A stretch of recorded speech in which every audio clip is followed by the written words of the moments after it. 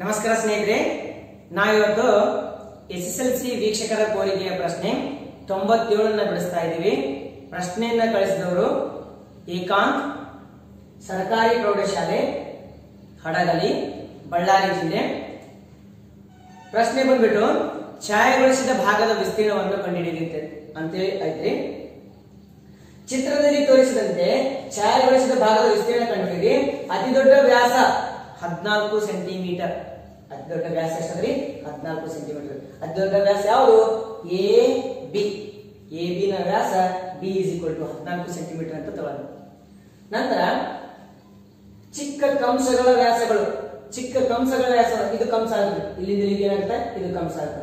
ಚಿಕ್ಕ ಕಂಸಗಳ ವ್ಯಾಸಗಳು ಮೂರು ಪಾಯಿಂಟ್ ಐದು ಸೆಂಟಿಮೀಟರ್ ಎರಡು ಕೂಡ ಮೂರು ಪಾಯಿಂಟ್ ಐದು ಸೆಂಟಿಮೀಟರ್ ಅಂದ್ರೆ ಎ ನಿಂದ ಸಿ ಅದಲ್ಪ ಎ ಸಿ ಅಂತಕ್ಕಂಥದ್ದು ಒಂದು ವ್ಯಾಸ ಡಿ ಒನ್ ಇಸ್ ಟು ಮೂರ್ ಪಾಯಿಂಟ್ ಐದು ಸೆಂಟಿಮೀಟರ್ ಡಿ ಬಿ ಅಂತಕ್ಕಂಥದ್ದು ಇನ್ನೊಂದು ವ್ಯಾಸ, ಅದು ಡಿ ಒನ್ ಇಸ್ ಟು ಮೂರು ಪಾಯಿಂಟ್ ಐದು ಸೆಂಟಿಮೀಟರ್ ಅಂತ ಆಗುತ್ತೆ ಇದು ಮೂರು ಪಾಯಿಂಟ್ ಐದು ಸೆಂಟಿಮೀಟರ್ ಇಲ್ಲಿ ತೆಗೊಂಡ್ರಿ ಮೂರು ಪಾಯಿಂಟ್ ಐದು ಸೆಂಟಿಮೀಟರ್ ತೆಗೆದಾಗ ಏಳು ಸೆಂಟಿಮೀಟರ್ ಆಗ್ತದೆ ಒಟ್ಟಾರೆ ಇರ್ತಕ್ಕಂಥದ್ದು ಉದ್ದ ಹದಿನಾಲ್ಕು ಸೆಂಟಿಮೀಟರ್ ಹದಿನಾಲ್ಕು ಸೆಂಟಿಮೀಟರ್ ಒಳಗ ಏಳು ಸೆಂಟಿಮೀಟರ್ ತೆಗೆದ್ರ ಇನ್ನ ಏಳು ಸೆಂಟಿಮೀಟರ್ ಉಳಿತದೆ. ಆ ಏಳು ಸೆಂಟಿಮೀಟರ್ ಡಿ ಟು ಅಂತ ಬಂದ್ರಿ ಡಿ ಟು ಏನಾಗ್ತದ? ಈ ಇನ್ನೊಂದು ಅರ್ಧ ವೃತ್ತ ಕಾಣ್ತದ ನಿಮ್ಗ? ಅಥವಾ ಒಂದು ಕಂಸ ಕಾಣ್ತದ ಅರ್ಧ ವೃತ್ತನೇ? ಅರ್ಧ ವೃತ್ತದ ವ್ಯಾಸ ಸಿಕ್ಕಂಗಾಗ್ತದೆ. ಅರ್ಧ ವೃತ್ತದ ವ್ಯಾಸ ಎಷ್ಟು? ಏಳು ಸೆಂಟಿಮೀಟರ್ ಇದ್ರ ವ್ಯಾಸ ಮೂರು ಪಾಯಿಂಟ್ ಐದು ಸೆಂಟಿಮೀಟರ್ ಏನ್ ಮಾಡ್ಬೇಕು ಈಗ ನಾವು ಛಾಯೆಗೊಳಿಸಿದ ಭಾಗದ ವಿಸ್ತೀರ್ಣ ಕಂಡುಹಿಡಿಬೇಕು. ಅದಕ್ಕಿಂತ ಮುಂಚೆ ಸ್ವಲ್ಪ ದತ್ತ ಏನ್ ಬರ್ತೇವೆ ಇಲ್ಲಿ ದತ್ತ R R is equal to ಅಥವಾ ದೊಡ್ಡ ದೊಡ್ಡ ಅರ್ಧ ವೃತ್ತ. ಅರ್ಧ ವೃತ್ತದ ತ್ರಿಜ್ಯ. ಆರ್ ಇಸ್ ಈಕ್ವಲ್ ಟು ಏಳು ಸೆಂಟಿಮೀಟರ್ ನೆಕ್ಸ್ಟ್ ಸಣ್ಣ ಕಂಸಗಳ ತ್ರಿಜ್ಯ. R one is equal to R one is equal to D one ಅಂತಂದ್ರೆ ಮೂರು ಪಾಯಿಂಟ್ ಐದು ರೀ ಆರ್ ಒನ್ ಅಂದ್ರೆ ಏನಾಗ್ತದ ಮೂರು ಪಾಯಿಂಟ್ ಐದು ಭಾಗಲಿ ಎರಡು ಸೆಂಟಿಮೀಟರ್ ಅಂತ ನಂತರ ಇಲ್ಲಿ ಬರೋದು ಇನ್ನೊಂದು ಅರ್ಧ ವೃತ್ತ ಆ ಅರ್ಧ ವೃತ್ತದ ವ್ಯಾಸ ಎಷ್ಟದ್ರಿ ಸಿ ಡಿ ಸಿ ಡಿ ಅಂತಕ್ಕಂಥದ್ದು ಏಳು ಸೆಂಟಿಮೀಟರ್ ಅದ. ಹಂಗಿದ್ರ ಸಣ್ಣ ಅರ್ಧ ವೃತ್ತ ಸಣ್ಣ ಅರ್ಧ ವೃತ್ತ ಸಣ್ಣ ಅರ್ಧ ವೃತ್ತ ಯಾವುದು C P D C P D ತ್ರಿಜ್ಯ. R two is equal to ಏಳು ಸೆಂಟಿಮೀಟರ್ ಅದ? ಏಳು ಬಾಗಿಲು ಅಂತಂದ್ರೆ ಮೂರು ಪಾಯಿಂಟ್ ಐದು ಸೆಂಟಿಮೀಟರ್ ಇಷ್ಟು ಬಂತು. ಛಾಯೆಗೊಳಿಸಿದ ಭಾಗದ ವಿಸ್ತೀರ್ಣ ಕಂಡುಹಿಡಿಬೇಕು ನಾವು. ಛಾಯೆಗೊಳಿಸಿದ ಭಾಗದ ವಿಸ್ತೀರ್ಣ ಕಂಡುಹಿಡಿಬೇಕಂತಂದ್ರೆ ಏನ್ ಮಾಡ್ತೀಯಾ?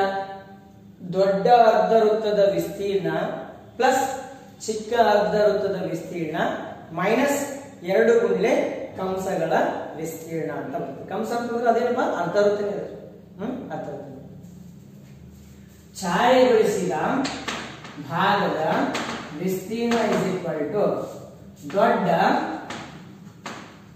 ಅರ್ಧವೃತ್ತದ ವಿಸ್ತೀರ್ಣ ಪ್ಲಸ್ ಸಣ್ಣ ಅರ್ಧವೃತ್ತದ ವಿಸ್ತೀರ್ಣ. ಸಣ್ಣ ಅರ್ಧವೃತ್ತದ ವಿಸ್ತೀರ್ಣ ಮೈನಸ್ ಏನ್ ಮಾಡ್ಬೇಕು? ಎರಡು ಕಂಸಗಳ ವಿಸ್ತೀರ್ಣ. ಎರಡು ಗುಂಡೆ ಎರಡು ಗುಂಡೆ ಕಂಸ ಅಥವಾ ಅರ್ಧ ಕಂಸನೇ ಬರ್ಕೊಂಡು ಕಂಸ ಎ ಕ್ಯೂ ಸಿ ವಿಸ್ತೀರ್ಣ. ಕಂಸ ಎ ಕ್ಯೂ ಸಿ ವಿಸ್ತೀರ್ಣ ಅಂತ. ಈ ತರ ಬಂದಾಗ ಮೊದಲು ದೊಡ್ಡ ವೃತ್ತದ ವಿಸ್ತೀರ್ಣ. ವೃತ್ತದ ವಿಸ್ತೀರ್ಣ ಸೂತ್ರ ನಮಗೆ ಗೊತ್ತದೆ ವೃತ್ತದ ವಿಸ್ತೀರ್ಣ ಸೂತ್ರ ಏನು? ಅರ್ಧ ಪೈ ಆರ್ ಸ್ಕ್ವಯರ್ ಹಂಗಿದ್ರ ಇಲ್ಲಿ ಮಾಡೋಣ ಅರ್ಧ ಪೈ ಆರ್ ಸ್ಕ್ವಯರ್ ಅಂತ ಬರ್ತೀನಿ. ಆರ್ ಅಂದ್ರ ಆರೇ ಅದ. ಪ್ಲಸ್ ಸಣ್ಣ ವೃತ್ತದ ಆ, ಅರ್ಧ ವೃತ್ತದ ವಿಸ್ತೀರ್ಣ ಯಾವುದು? ಸಣ್ಣ ಅರ್ಧ ವೃತ್ತ? ಸಣ್ಣ ಅರ್ಧ ವೃತ್ತದ ವಿಸ್ತೀರ್ಣ ಬ್ರಾಕೆಟ್. ಬರೆಯಂತೆ ಯಾವುದು? C P D C P D C P D ವಿಸ್ತೀರ್ಣ. ಅದನ್ನು ಕೂಡ ಅರ್ಧ ಪೈ ಆರ್ ಸ್ಕ್ವೈರ್ ಆಗ್ತದ. ಬಟ್ ಆರ್ ಅಂತಂದ್ರೆ ನೋಡು, ಸಣ್ಣ ಅರ್ಧ ವೃತ್ತದ ವಿಸ್ತೀರ್ಣ C P D R two ಅಂತ ತಗೋಬೇಕು ಇಲ್ಲಿ ಏನ್ ತಗೋಬೇಕು? ಆರ್ ಟು ಅಂತ ತಗೋಬೇಕು. ಆರ್ ಟು ಸ್ಕ್ವಯರ್ ಮೈನಸ್ ಎರಡು ಗುಂಡ್ಲೆ. ಕಂಸದ ಎ ಕ್ಯೂ ಸಿ ವಿಸ್ತೀರ್ಣ. ಎರಡು ಗುಂಡ್ಲೆ ಎ ಕ್ಯೂ ಸಿ ವಿಸ್ತೀರ್ಣ. ಇದ್ರು ಕೂಡ ಅರ್ಧ ವೃತ್ತನೇ ಅದರಿ. ಅರ್ಧ ವೃತ್ತದ ವಿಸ್ತೀರ್ಣ ಸೂತ್ರ ಹಾಕ್ಬೇಕು. ಅರ್ಧ ಪೈ ಆರ್ ಸ್ಕ್ವೇರ್, ಆರ್ ಅಂದ್ರೆ ಕಂಸದ ವಿಸ್ತೀರ್ಣ ಆರ್ ಒನ್ ಅಂತ ತಗೊಂಡಿದ್ವಿ. ಅಂದ್ರೆ ಆರ್ ಒನ್ ಸ್ಕ್ವೇರ್ ಅಂತ ಆಗ್ತದೆ. ನಂತರ ಏನೇನು ಕಾಮನ್ ಅದ ನೋಡ್ರಿ. ದಿಸ್ ಇಸ್ ಈಕ್ವಲ್ ಟು ಅರ್ಧ ಪೈ ಕಾಮನ್ ಅದ ಇಲ್ಲೂ ಅರ್ಧ ಪೈ ಕಾಮನ್ ಅದ, ಅರ್ಧ ಪೈ ಕಾಮನ್ ಅದ, ಅಲ್ಲೂ ಅರ್ಧ ಪೈ ಕಾಮನ್ ಅದ. R square plus R two square minus two R one square ಅಂತ. ಏನೇನ್ ಬಂತು?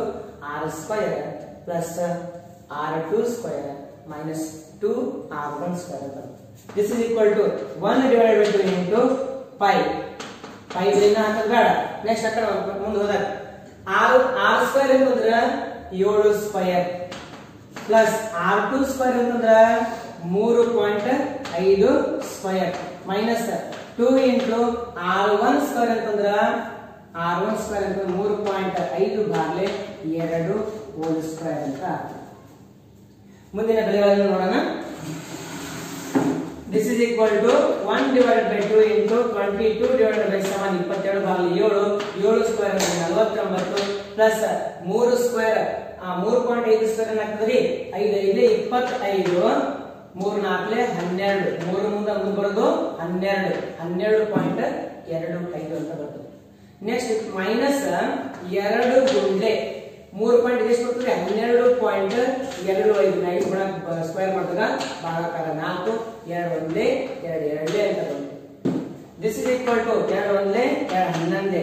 ಹನ್ನೊಂದು ಭಾಗಲಿ ಏಳು ಇನ್ ಬ್ರಾಕೆಟ್ ನಲವತ್ತೊಂಬತ್ತು ಪ್ಲಸ್ ಹನ್ನೆರಡು ಪಾಯಿಂಟ್ ಎರಡು ಐದು ಮೈನಸ್ ಡಿವಿಷನ್ ಮಾಡಿ ಎಷ್ಟು ಬರ್ತದೆ ಇದು? ಆರು ಪಾಯಿಂಟ್ ಒಂದು, ಎರಡು, ಐದು. Six point one two five ಬರ್ತದ.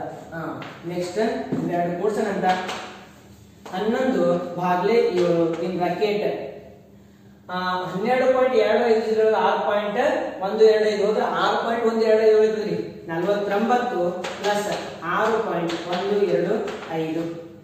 ಎಷ್ಟು ಬಿತ್ತು ಈಗ? ಎಷ್ಟು ಬಂತ answer this is equal to ಹನ್ನೊಂದು ಭಾಗ್ಲೆ ಏಳು ಇಂಟು ನಲ್ವತ್ತೊಂಬತ್ತರೊಳಗೆ ಆರು ಪ್ಲಸ್ ಐವತ್ತೈದು. ಐವತ್ತೈದು ಪಾಯಿಂಟ್ ಒಂದು ಎರಡು ಐದು ಅಂತ ಬರ್ತದೆ. ದಿಸ್ ಇಸ್ ಈಕ್ವಲ್ ಟು ಏಳು ಏಳು, ಒಂದೇ ಏಳು ಏಳು, ಏಳೇ ನಲವತ್ತೊಂಬತ್ತು. ಆರು ಉಳಿತು ಆರು ಅಂದ್ರೆ ಅರವತ್ತೊಂದು ಆಯ್ತು. ಅರವತ್ತೊಂದು ಅಂತಂದ್ರ ಏಳು ಎಂಟ್ಲೆ ಐವತ್ತ ಆರು ಐದು ಉಳಿತು. ಐವತ್ತೆರಡು ಐತೆ ಏಳು, ಏಳೇ ನಲವತ್ತೊಂಬತ್ತು. ಮೂರು ಉಳಿತು. ಮೂವತ್ತೈದು ಆಯ್ತು. ಏಳು, ಐದ್ಲೆ ಮೂವತ್ತೈದು. ಒಂದು, ಎರಡು, ಮೂರು ಬಿಟ್ಟು ಬಂದು, ಒಂದು, ಎರಡು, ಮೂರು ಬಿಟ್ಟು ಬಂದು. ಎಷ್ಟು ಬಂತಪ್ಪ ಈಗ? ಈ ಎರಡು ಗುಣಾಕಾರ ಮಾಡೋಣ. ಹನ್ನೊಂದು, ಐದೇ, ಐವತ್ತೈದು ಕೈದು ಕೈ ಈಗ ಹನ್ನೆರಡು, ಎಪ್ಪತ್ತೇಳು ಎಂಬತ್ತೆರಡಕ್ಕೆ ಎರಡು ಎಂಟು ಎಂಟು ಎಂಬತ್ತೆಂಟು, ತೊಂಬತ್ತಾರಕ್ಕೆ ಆರು ಒಂಬತ್ತು ಒಂಬತ್ತು ಹನ್ನೊಂದೇಳು ಎಪ್ಪತ್ತೇಳು ಎಂಬತ್ತಾರಕ್ಕೆ ಎಂಬತ್ತಾರು. Eighty six point six two five. ಎಂಬತ್ತಾರು ಪಾಯಿಂಟ್ ಆರು ಎರಡು ಐದು ಸೆಂಟಿಮೀಟರ್ ಸ್ಕ್ವಯರ್ ಈ ಒಂದು ಛಾಯಾಗೊಳಿಸಿದ ಭಾಗದ ವಿಸ್ತೀರ್ಣ ಎಷ್ಟು ಬಂತು? ಛಾಯಾಗೊಳಿಸಿದ ಭಾಗದ ವಿಸ್ತೀರ್ಣ ಎಂಬತ್ತಾರು ಪಾಯಿಂಟ್ ಆರು ಎರಡು ಐದು ಸೆಂಟಿಮೀಟರ್ ಸ್ಕ್ವೇರ್ ಅಂತ ಬಂತು ಉತ್ತರ ನಿಮಗೆ ಚೆನ್ನಾಗಿ ಅನಿಸಿತ್ತು ಅಂತಂದ್ರೆ ಏನ್ ಮಾಡ್ರಿ? ಲೈಕ್ ಕಮೆಂಟ್ ಶೇರ್ ಸಬ್ಸ್ಕ್ರೈಬ್ ಮಾಡಿದ್ರೆ ಮಾತ್ರ ಬರಿಬೇಡ್ರಿ ಪ್ರಶ್ನೆಯನ್ನು ಕಳಿಸಿದ ಏಕಾಂತ್ ಅವರಿಗೆ ಇನ್ನೊಮ್ಮೆ ನಾನು ಧನ್ಯವಾದ ಹೇಳ್ತೀನಿ ಇದೇ ತರ ಪ್ರಶ್ನೆಗಳನ್ನ ಕಳಿಸ್ತಾ ಹೋಗ್ರಿ. ವಿಡಿಯೋಗಳನ್ನ ಮಾಡ್ತಾ ಹೋಗ್ತೀನಿ. ನಮಸ್ತೆ.